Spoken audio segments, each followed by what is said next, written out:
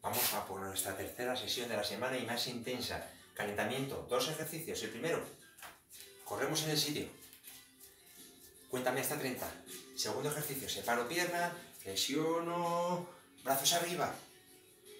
15 veces. En total, nos repetimos tres veces cada uno. Venga, vamos a la parte principal. Tres ejercicios a realizar entre 5 y 6 veces cada uno, en circuito, sin parar. Primero, vamos a saltar un poquito.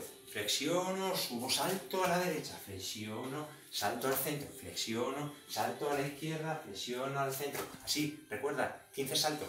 Segundo ejercicio, vamos al suelo.